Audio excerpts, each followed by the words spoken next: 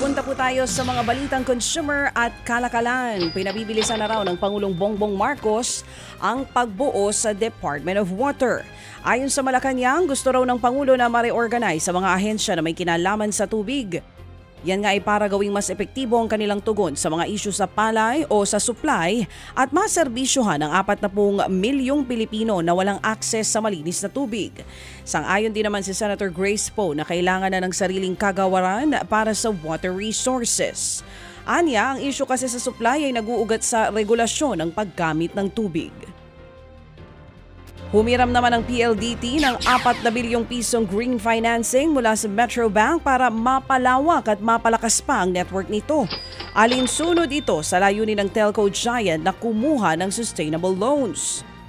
Inaprubahan lang ang ganitong klasing loan kapag nakitang environment-friendly ang proyektong paggagamitan. Ito ang unang beses na umutang ang PLDT ng ganitong klasing financing mula sa local creditor. Gagamitin ang pondo sa rollout ng uh, broadband sa iba't ibang bahagi ng bansa gamit ang fiber optics.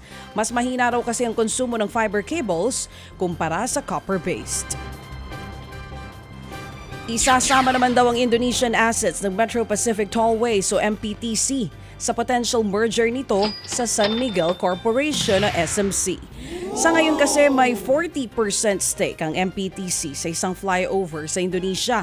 Inaasahan din daw ng MPTC na mananalo sila sa bidding para sa 35% share ng isang tollway.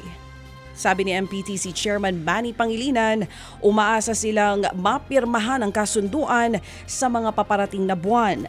Pero dahil kailangan pa nito ng government approval, posibleng sa dulo pa ng taon maisapinal ang plano. Ted Filon at DJ Chacha. Ngayon, nasa Radyo 5, 92.3 News FM. Monday to Friday, 6 to 10 a.m.